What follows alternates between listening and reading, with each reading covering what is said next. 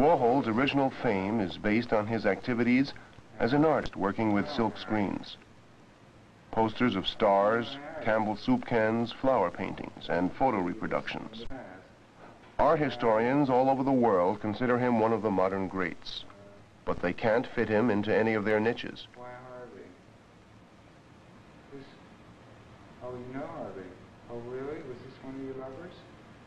Really? His silk screens are still selling at the factory, the name he gave to his studio, even though he has not designed anything new in the past few years.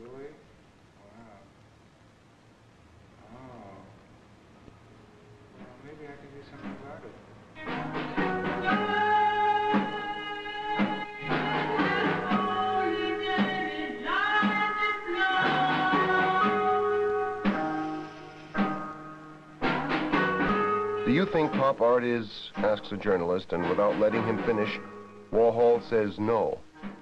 What, asks the journalist. No, answers Warhol.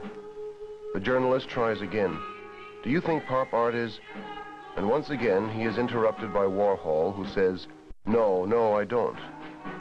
If you want to know more about Andy Warhol, just look at the surface of my paintings and films, and me.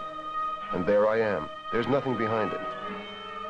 Following this to its logical conclusion, he says, the interviewer should just tell me the words he wants me to say, and I'll repeat them after him.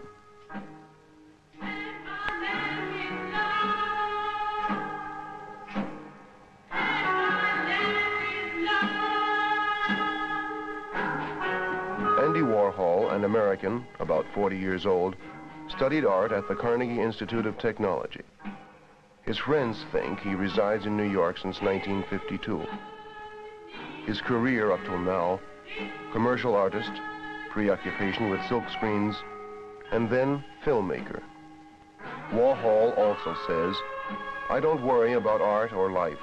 I mean, the war and the bomb worry me, but usually there's not much you can do about them. I've represented it in some of my films, and I'm going to try and do more.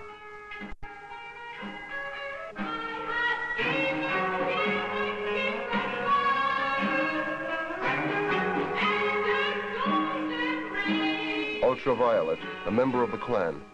She sings, acts in Warhol films, and collects the works of her artist friends. Oh, well, I like flowers. And it's hard to have fresh flower every day, so this is my flower.